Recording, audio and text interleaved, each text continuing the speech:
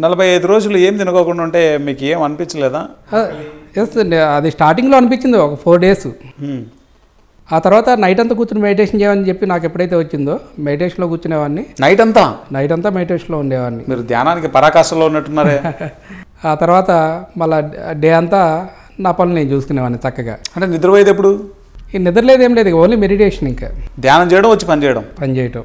వామ్మో. ఆ forty five days అయిపోయిన తర్వాతనే ఈ సేతు విజ్ఞానానికి బాలకృష్ణ గారికి కనెక్ట్ అవ్వటం డిఎన్ఏ వర్క్షాప్ కనెక్ట్ అవ్వటం అర్హత సంపాదించుకున్నారు మీ యొక్క ధ్యాన సాధనతో. ధ్యాన సాధన then you become a master yes మీ జర్నీ చాలా అద్భుతంగా ఉందండి.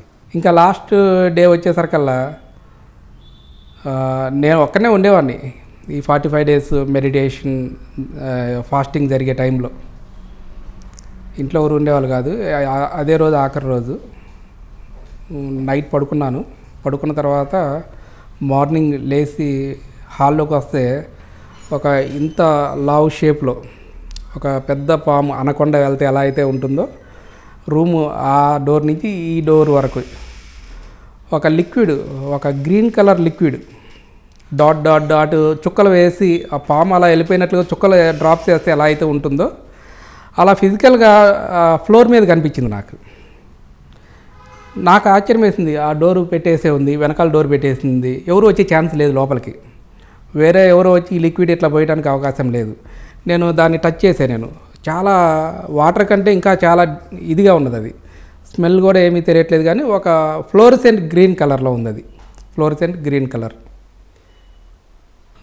నాకైతే ఏం జరుగుతుందో తెలియట్లేదు. ఏదో జరుగుతూ ఉన్నాయి. ఇక్కడ నుదిరి మీద హోల్ కనిపిస్తూ ఉంది హాస్టల్ ట్రావెల్ జరుగుతూ ఉంది. ఈ నేల మీద పాములన్నీ వచ్చి వెళ్ళిపోయిన ఫిజికల్ కంటికి కనిపిస్తూ ఉంది. ఆ తర్వాత ఈ ఫ్లోర్ మీద ఇదంతా కనిపిస్తూ ఉంది.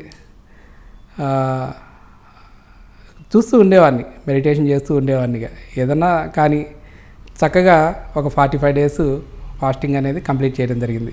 దీని వెనకాల మరి పత్రిజీ గారు అనుక్షణం ఉండి నడిపించారనే ఎరుకైతే నాకు ఉన్నది.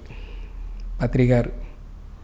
ఆయన ఒక కంటికి రెపలాగా ప్రతి ఒక్క పిరమిడ్ మాస్టర్ని ఎన్ని కోట్ల మంది ఉన్నారో అన్ని కోట్ల మంది పట్ల కూడా ఆయన శ్రద్ధ ఉంటుంది అనే అవగాహన నాకు వచ్చింది. ప్రతి ఒక్కరి పట్ల కూడా. మీ ఎక్స్పీరియన్సెస్ చాలా అద్భుతంగా ఉన్నాయి అసలు. సార్. సూక్ష్మ శరీరయానం వెరా స్టాన్లీ ఆల్డర్ ఆ యొక్క సూక్ష్మ శరీరయానానికి సంబంధించినటువంటి మీ అనుభవాలు ఆ పుస్తకంలో ఆ మాస్టర్ చెప్పినటువంటి అనుభవాలు మిమ్మల్ని మీరు ఆ ప్రయాణంలో మీరు పొందిన అనుభవాలు మీ యొక్క సమాధినే మీరు వెళ్ళి చూడడం. తిరుపతిలో. తిరుమల. అండ్ శ్రీశైలంలో ఆ యొక్క మెయిన్ స్వయంభూగా వెలిసిన ఆ యొక్క శివలింగాన్ని ఐడెంటిఫై చేసిన వాళ్ళలో గత జన్మలలో మిమ్మల్ని మీరు చూసుకోవడం. ఈ యొక్క సూక్ష్మ శరీరయానం ద్వారా అమేజింగ్ అసలు. ఇప్పుడు మీరు ఒక హోల్ పడింది ఇక్కడ థర్డ్ ఐ ప్లేస్లో అని చెప్పారు కదా. మన ఊదకడ్డి అయిపోయిన తర్వాత అది పెడితే కూడా కొంచెం ఇంతవరకు ఇంత ఇంచు లోపలికి వెళ్ళిపోయిందని చెప్పారు కదా. ఆ యాస్ట్రల్ సర్జరీ ఇక్కడ థర్డ్ ఐకి మీకు జరిగిన తర్వాత ఆ అనుభవాల గురించి చెప్పండి. కళ్ళు మూసుకున్నప్పుడు కనిపిస్తూ ఉండేవి మాస్టర్స్ ఎవరో కనిపిస్తూ ఉండేవాళ్ళు ఏదో వర్క్ జరుగుతున్నట్లు కనిపిస్తూ ఉండేది. ఇది ఎట్లా ఎవరికి చెప్పాలనేది కూడా అర్థమయ్యేది కాదు. ఒక భయం ఉంటూ ఉండేది లోపల. ఎప్పుడైతే బాలకృష్ణ గారితో కనెక్ట్ అయ్యానో బాలకృష్ణ గారు ఇమీడియట్గా కూర్చో కళ్ళు మూసుకో చూడు చెక్ చేయి ఏం జరుగుతుందో చూడు అని చెప్పి చెప్పేవాళ్ళు. ఎంతోమందికి కౌన్సిలింగ్ చేయించేవాళ్ళు బాలకృష్ణ గారు. కౌన్సిలింగ్ చేయించేటప్పుడు నేను ఎప్పుడు అవకాశం ఉన్నా సరే నేను వెళ్తూ ఉండేవాడిని సార్ దగ్గరికి. సార్ దగ్గరికి వెళ్ళి ఎవరు కౌన్సిలింగ్ వచ్చినా సరే కూర్చొని చెక్ చూ చెక్ చేస్తుండేవాడిని. సార్ ఏం చేసేవాళ్ళు? ఇతనికి ఒక సమస్యతో వచ్చాడు ఒక వ్యక్తి. ఆ ప్రాబ్లం ఎక్కడుంది? బాడీస్లో ఉందా? చక్రాస్లో ఉందా? ఆ చక్రాస్ని ఆ బాడీస్ని సరి చేస్తే ఇతను ఫిజికల్గా సెట్ అయిపోయేవాడు. ఓకే. దానికి ఎక్కువగా నేను వర్క్ చేసేవాడిని బాలకృష్ణ ఏదో డాక్టర్ దగ్గరికి వెళ్తే ఏదైనా రోగం వస్తే వానికి ఇంజెక్షన్ వేసి మెడిసిన్ ఇస్తే సెట్ అయిపోయినట్లు లోపల బాడీలను సెట్ చేస్తే ఈ ఫిజికల్ బాడీ సెట్ చేసేవాళ్ళు. సెట్ అయిపోయేది. ఎక్కడో మీరు పైలోకాల్లో ఉండాల్సిన మనిషి భూమి మీద ఉన్నారు మీరు. ఒకసారి ఒక ఎక్స్పీరియన్స్ సేతు సేతు వర్క్షాప్కి వెళ్ళాము. అక్కడికి ఒక ఆవిడ బైక్ మీద తీసుకొచ్చారు. చాలా బైక్ అది ఆటోలో తీసుకొచ్చారు. నడవలేని పరిస్థితి. ఒక ఇద్దరు మోసుకొని తీసుకొచ్చి మరి ఆ, కూర్చోబెట్టారన్నమాట. అసలు లెగిసి నించోని లెగవలేని పరిస్థితి. ఇది పార్ట్ సేతు విజ్ఞానంలో కౌన్సిలింగ్ చేయటం. కౌన్సిలింగ్ చేసి వాళ్ళ యొక్క స్పిరిచువల్ పాత్కి వాళ్ళని కనెక్ట్ చేయటం. ఎంతో అజ్ఞానంలో మనం భౌతిక ప్రపంచంలో ఎన్నో మాయలతో జీవిస్తూ ఉంటాం మనం. ఎప్పుడైతే ఆ మాయలు తొలగిపోయాయో అజ్ఞానం పోయిందో మన స్పిరిచువల్గా మన గ్రోత్ ఉంటుంది. ఆ త్రీ డేస్ వర్క్షాప్ టైంలో వాళ్ళ స్పిరిచువల్ గ్రోత్కి వాళ్ళ స్పిరిచువల్గా కనెక్ట్ అవ్వడానికి ఈ కౌన్సిలింగ్స్ ఉండేవి అన్నమాట ఆ కౌన్సిలింగ్ చేస్తున్న టైంలో ఒక ఆవిడ్ని ఆటోలో తీసుకొచ్చారు. లేచి నించోలేని వ్యక్తిని.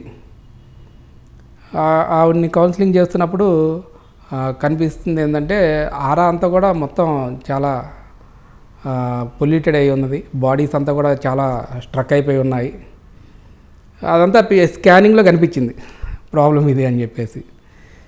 ఆవిడని కూర్చోబెట్టి గతంలో చేసిన దానికి మరి ఇప్పటి వరకు ఏమేమి ఉన్నాయో వాటన్నిటిని మాస్టర్స్ అందరినీ పిలిచి క్షమించమని అడిగి నాన్ వెజిటేరియన్ అయితే ఈ క్షణం నుంచి పూర్తి వెజిటేరియన్గా ఉంటా అని చెప్పేసి అనుకొని ఒక one and half hour meditation అయిపోయింది కౌన్సిలింగ్ ఎప్పుడైతే మెడిటేషన్ అయిపోయిందో చక్కగా లేచి నడుచుకుంటూ వెళ్ళిపోయింది ఆవిడ.